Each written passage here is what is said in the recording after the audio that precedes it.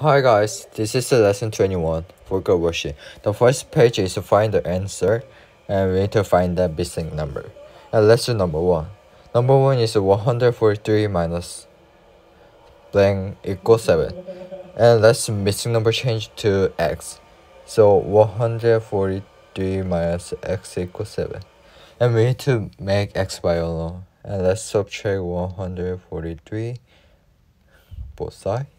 And it makes 1 minus 136 and we need to divide by negative 1 both sides and we get 136 so x x equal 136 this is answer for number 1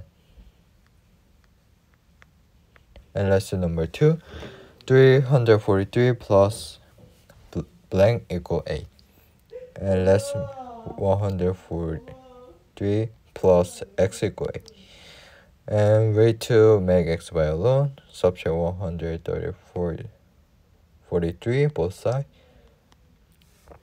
So we get x equal negative 300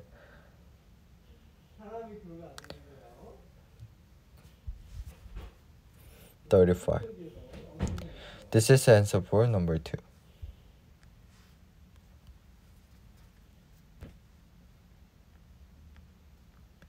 And lesson number 6, 123 minus 3.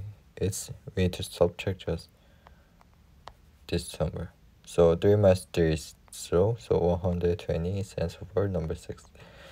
And lastly, let's do number 7 528 minus 21 a minus 1 is 7 and 2 minus 2 is 0 and 5 minus 0 is 5 so 507 is sensible number 7 and let's do next page